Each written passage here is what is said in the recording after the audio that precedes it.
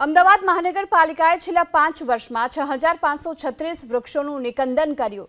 Recreation કમિટીની બેઠકમાં chairman દ્વારા પ્રશ્ન પૂછવામાં આવતા અધિકારીઓ દ્વારા આ જવાબ મળ્યો કે શહેરમાં વર્ષ બે હજાર ઓગણીસથી લઈ બે હજાર ચોવીસમાં સૌથી વધુ પશ્ચિમ ઝોનમાં વૃક્ષ કાપવામાં આવ્યા, જેનો આંકડો એક હજાર આઠસો તોતેર થાય છે.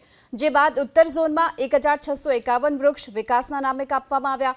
મધ્ય ઝોનમાં આઠસો ત્રીસ વૃક્ષ એએમસીએ કાપી નાખ્યા તો ઉત્તર પશ્ચિમ ઝોનમાં પણ સાતસો તેર વૃક્ષો કાપવામાં આવ્યા છે. ખુદ રિક્રિએશન કમિટીના ચેરમેને સ્વીકાર કર્યો છે કે શહેરના વધતા વ્યાપની વચ્ચે ફ્લાયઓવર કે અંડરપાસ અથવા તો અન્ય વિકાસના કાર્ય કરવાના કારણે ઉચ્ચ સત્તાની પરવાનગી બાદ વૃક્ષ કાપવાની મંજૂરી આપવામાં આવી છે. તો જ્યારે કોઈ પણ વિકાસના કામો કરવામાં આવે છે, ત્યારે કેટલાક ઝાડ જે છે નડતરરૂપ હોય છે. કેટલાક નાગરિકો દ્વારા પણ અમારી પાસે ફરિયાદ આવે છે કે ભાઈ આ ઝાડ નડતરરૂપ છે એને નીકાળવામાં આવે. તો સક્ષમ સત્તાની deputy municipal commissioner parks and ગાર્ડનની મંજૂરી લેવામાં આવે છે. અને એવા જે વૃક્ષો જે છે, એ આપણે ઓગણીસ, વીસની અંદર સોળસો ઓગણીસ કાપવામાં આવ્યા હતા.